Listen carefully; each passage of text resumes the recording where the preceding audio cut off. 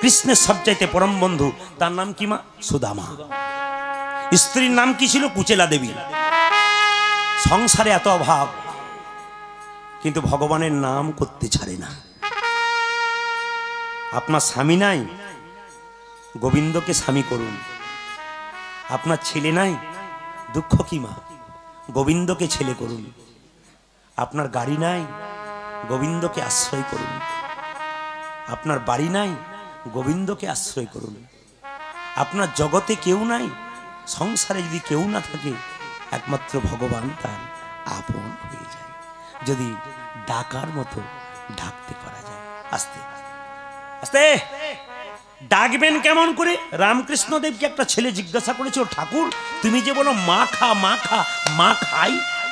ঠাকুর বলল হ্যাঁ রে, ডাকার মতো ডাকলে মা খাই বলছে, কই, আমি ডাকি, আমার হাতে খায় না। আর তুমি ডাকো, তোমার হাতে খায়। ব্যাপারটা বুঝলাম না। তোমার যে ডাক, আমারও সেই ডাক।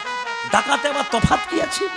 সঙ্গে সঙ্গে বলল, না রে বাবা, ডাকার মধ্যে আকুলতা চাই, ব্যাকুলতা চাই, ভগবান আসবে। বলে, কি রকম? আমি তো বুঝতে পারলাম না। ঠাকুর কি করলেন? ছেলেটাকে ধরে ওই গঙ্গার ঘাটে নিয়ে গিয়ে গঙ্গা জলে কিছুক্ষণ ডুবিয়ে রাখল। যখন উঠিয়ে দিল কিছুক্ষণ পর তখন বলল হ্যাঁ রে খোকা তোকে যখন জলের মধ্যে ডোবালাম তখন তোর ভেতরটা কেমন করছিল? ও ঠাকুর ভেতরটা আমার আকু পাকু করছিল গো মনে হচ্ছে এই বুঝি প্রাণটা বেরিয়ে যাবে। ওরে ভগবানকে ডাকবার জন্য কারও মন যদি এরকম আকু পাকু করে গবু গোবিন্দে কৃপা সেজ্জে প্রথমেই নিতাই গৌর হরিবল। হরি বল হরি বল এইদিকে তাকান আপনার স্বামী স্ত্রী অনেকে কীর্তন শুনতে এসছেন। অনেকে একা এসছেন? যুগলে কীর্তন শুনবেন, বাচ্চাকে নিয়ে কীর্তন শুনবেন। কীর্তন এমন একটা জিনিস, সব জায়গাতে ফেল হতে পারে। হরিনামে কোনো জায়গাতে ফেল হওয়া যায় না। এই হরিভক্ত যারা হয়, তাদের সন্তান হরিভক্ত হলে সেই ছেলেটি বুদ্ধিমান হয়, মেয়েটি বুদ্ধিমতী হয়, যদি আপনার চলার পথটা ভালো হয়। টিভিতে হাজার হাজার সিরিয়াল দেখবেন, একটা মেয়ে, চারটা স্বামী, আবার চারটা মেয়ের একটা স্বামী। এই তো খালি সিরিয়াল দেখাচ্ছে। এতে আপনি কি জ্ঞান পাচ্ছেন? এ তো সমাজ উচ্ছন্নে যাচ্ছে। কি শিক্ষা দিচ্ছে এরা? এরা তো সব উল্টো শিক্ষা দিচ্ছে সমাজটাকে নষ্ট করছে। এই সমস্ত লোকের সিরিয়াল দেখে আপনাদের লাভ কি আছে? ও তো সময় কাটানো হয়। সেই সময়টা গোবিন্দের নামে দিন। আপনার আধ্যাত্মিক চেতনা হবে আপনার সংসারের উন্নতি হবে। ওই সময়টা গুরু গোবিন্দের নাম করুন আপনাদের লাভ আছে। আসতে। মন দিয়ে শুনবেন খুব দামি কথা। সুদামা আর কুচেলা দেবী আসতে। এত অভাব মা একবেলা খেতে পাই একবেলা খেতে পাই না। স্ত্রী কুচেলা দেবী বলল, স্বামী, এতদিন শুধু কৃষ্ণ কৃষ্ণ করে দিলাম তোমার কাছে আমার একটা প্রশ্ন বারবার জাগে, কিন্তু জিজ্ঞেস করতে পারিনি বলে, কি? যে ভগবানের নাম করে তার এত কষ্ট হয় কেন? যে গোবিন্দের নাম করে সে বারবার এত কষ্ট পায় কেন? লোকে গাড়ি করছে, বাড়ি করছে সব কিছু করছে, আমরা ভিখারি রয়ে গেলাম, গোবিন্দ আমাদের ভিখারি করলেন। সুদামা একটা দামি কথা বললেন তার স্ত্রীকে, যে পড়াশুনো করে সেই তো পরীক্ষা দেয়। হরে কৃষ্ণ। যে ভগবানকে দেখে, ডাকে, তাকেই তো পরীক্ষা দিতে হয়। আপনি সোনা বিক্রি করবেন স্বর্ণকারের কাছে, স্বর্ণকার আপনাকে পরীক্ষা করে দেখবে না? এই সোনার মধ্যে কতটা খাদ আছে, কতটা সোনা আছে? আপনি ভক্তি সোনা গোবিন্দ চরণে দেবেন, ভগবান আপনাকে পরীক্ষা করে দেখবে না। আপনি ভক্তি সোনাটা দিয়েছেন, তার মধ্যে কতটা খাদ আছে, কতটা ভক্তি আছে। স্ত্রী বলল, স্বামী, কৃষ্ণ নাকি তোমার বন্ধু? সে নাকি দ্বারকার রাজা। তা বন্ধু যদি রাজা হয়, একবার বন্ধুর কাছে যাও, তোমার অভাবের কথা বলো। হয়তো বা তোমার বন্ধু তোমার অভাব মিটিয়ে দিতে পারে। সুদামা বলল, আমি সেরকম ভক্ত নই। আর আমার কৃষ্ণ তেমন বন্ধু নয়। সবাই জেনে নিন মায়েরা, মন্দিরে যান, গাড়ি, বাড়ি, টাকা পয়সা, ধন দৌলত চান, এটা ভক্তের স্বভাব নয়। ভক্ত যদি কাই মনে কোনো বাঞ্ছা করে, ভগবানের সাধ্য নাই, সেই বাঞ্ছা নাই পড়ে। ভক্ত ভগবানের কাছে গাড়ি, বাড়ি চাই না, প্রেম আর ভক্তি চাই এই জন্য কোনোদিন মন্দিরে কিছু চাইবেন না, যে চাই সে সামান্য পায়, আর যে চাই না, সে এত পায়, ভাবতেই পারে না। ওই জন্য মন্দিরে চাইতে না যারা পাকা পাকা ভক্ত, মন্দিরে চাই না। ছেলে যদি বারবার মায়ের কাছে ছুটে আসে, বুঝতে পারে ছেলে কেন এসেছে। বাবার কাছে বারবার এলে বাবা বুঝতে পারে কেন ছেলে বারবার এসেছে। তে তো অন্তর্যামী ভগবান, তিনি তো আপনার দুঃখের কথা জানেন। আবার নতুন করে কি জানাবেন? আমার ছেলেকে পাস করিয়ে দাও, আমার স্বামীর চাকরি করে দাও, আমার স্বামীর ব্যবস্থা করে দাও। এটা বলবে কেন তুমি? সে তো অন্তর্জামী সে তো সব কিছু জানতে পারছে। শুধু গিয়ে ভক্তি দাও। ব্যাংকে টাকা জমা দিলে তার সুদ পাওয়া যায়। গোবিন্দের কাছে ভক্তি দিলে তার কৃপা সম্পদ পাওয়া যায়। আপনারা ভক্তি সম্পদ গোবিন্দ চরণে দিন, আপনার কৃপা সম্পদ অবশ্যই লাভ করবেন। সুদামা বলল, যেতে পারি। কিন্তু কিছু চাইব না। কুচেলা দেখল, চাইতে হবে না। একবার তো যাবে, গেলে দাঁড়ালেই তো কৃষ্ণের কৃপা হয়ে যাবে। তাই বলল হ্যাঁ গো, অনেকদিন পরে বন্ধু বন্ধুর কাছে গেলে কিছু নিয়ে যেতে হয়। বলো বলো, তোমার বন্ধু কি খেতে ভালোবাসে? আমার বন্ধু চিড়ের নাড়ু খেতে ভালোবাসে। এই চিড়ের নাড়ু তুমি যদি দিতে পারো, তবে বন্ধুর কাছে যাব।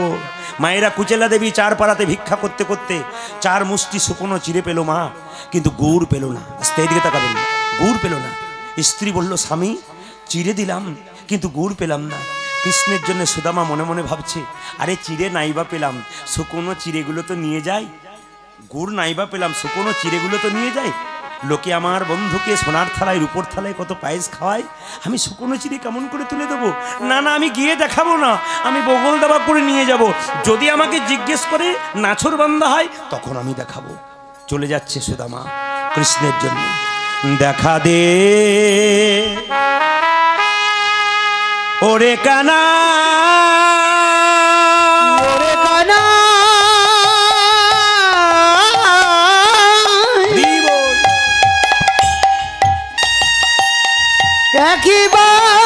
একবারই দেখা দে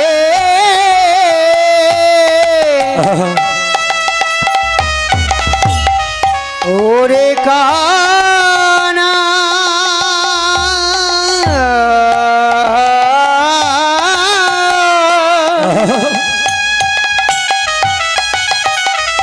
একেবার দেখা দে। আহ! সুদামার পায়ে কাটা ফুটলো। একটা কথা জেনে রাখবেন খুব ভালো কথা। ভক্তের অঙ্গে কেউ যদি আঘাত করে সেই আঘাত ভগবানের অঙ্গে দ্বিগুণ লাগে। আমাদের সমাজে কিছু মূর্খ ব্যক্তিকে জেনে রাখা উচিত। যারা সাধুগুরু বৈষ্ণব দেখলে অপমান করে ওই লোককে জানিয়ে দেবেন বৈষ্ণবকে অপমান করলে যত না বৈষ্ণবের লাগে তার চাইতে দ্বিগুণ ভগবানের অঙ্গে লাগে। হরি বল হরি বল। তুমি বৈষ্ণবকে অপমান করছ না তুমি ভগবানকে অপমান করে দিচ্ছ। হরিদাসের শরীরে বাইশ বাজারে বেত্রাঘাত করেছিল যত না হরিদাসের অঙ্গে লেগেছে তার চাইতে আরও বেশি মহাপ্রভুর অঙ্গে লেগেছে। উন্নি খুলে দেখিয়ে দিয়েছিল দেখ হরিদাস তোর জন্য আমার কত যন্ত্রণা। সুদামার পায়ে কাটা ফুটেছে। কৃষ্ণ দ্বারকা সিংহাসনে বসে আছে। একদিকে রুক্মিণী এক মিলে সত্যভমা। স্বামী, তোমার পায়ে রক্ত কেন? কাঁটা ফুটেছে সুদামার অঙ্গে। আমার অঙ্গে ব্যথা। যেই না সুদামা ছুটে গেল কৃষ্ণ কৃষ্ণ বলে, দেখুন মায়েরা, সবাই লক্ষ্য করুন। কৃষ্ণ সিংহাসন থেকে নেমে এসে সুদামাকে হাতে ধরে নিয়ে গিয়ে বলল, এই সুদামা, তুই বহুদিন পরে এসেছিস। দেখ দেখ, আমি জানি আমি জানি, তুই আসবি। আমার বন্ধুকে পেয়ে আমার কি আনন্দ? আই তোকে বসাবো। কোথায় বসালো? কৃষ্ণ নিজের সিংহাসন ছেড়ে দিয়ে সুদামাকে সিংহাসনে বসিয়ে দিল। রুক্মিণী সত্যভামাকে বলল, রুক্মিণী, সত্যভামা, সোনার পাত্রে একটু জল এনে দাও, কি করবে? দরকার আছে। রুক্মিণী সত্যভামা, সোনার পাত্রে জল এনেছে। দেখল কি? কৃষ্ণের, কৃষ্ণ নিজের হাতে সুদামার পা দুটো ধুইয়ে দিচ্ছে।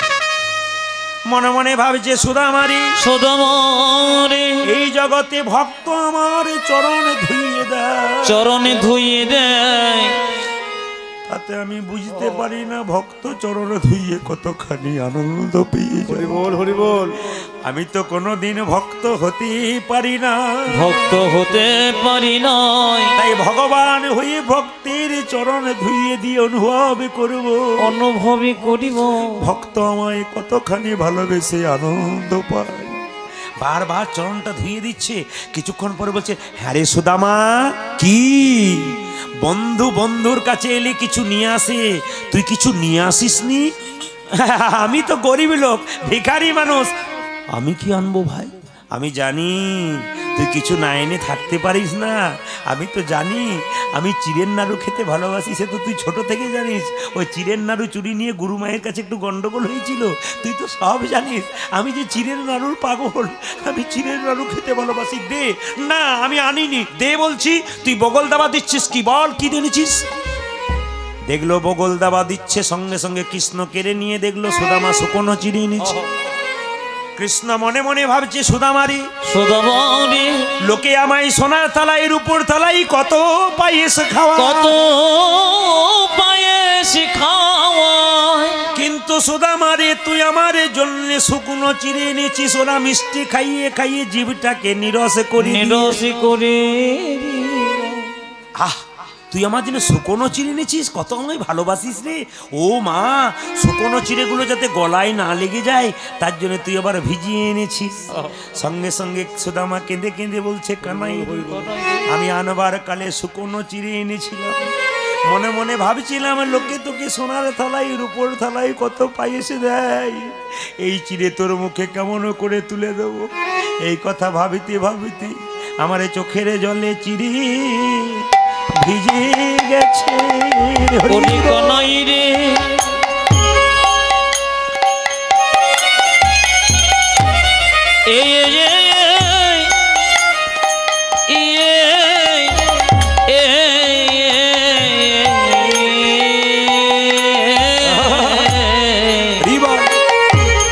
আমার চোখের জলে চিরে ভিজে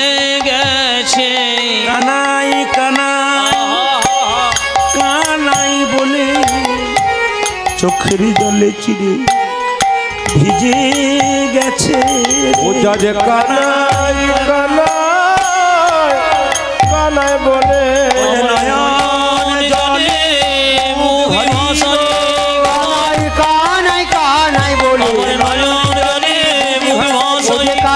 কানাই কানাই বলে চোখের জলে চিড়ে ভিজে মায়েরা এখানে কানাই মানে কি? যে ভক্তের কানাই কানাই তারই আছে কানাই। আরে যে ভক্তের কানাই কানাই নাই তার কানাই নাই। তার কানাই এ জগতে যে ভক্ত তার নয়নের কানাই একটু জল ফেলতে পেরেছে। বল হরি বল। একমাত্র কানাই তারই হয়ে গেছে।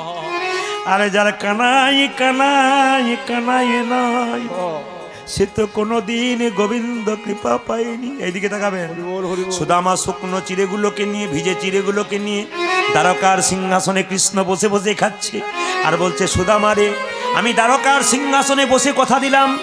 এই চিড়ে প্রসাদ শুধু আমি খেলাম তা নয় তা নয়।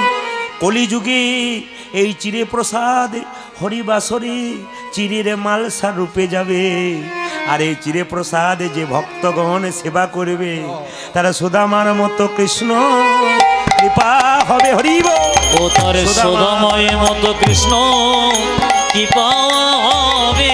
সুদামার মতো কৃষ্ণ কৃপা হবে। ও যে সুদামার মতো কৃষ্ণ কৃপা হবে। নয়ন জলে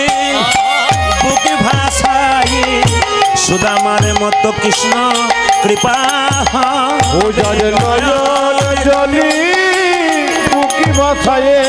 কৃষ্ণ প্রাণ গোবিন্দ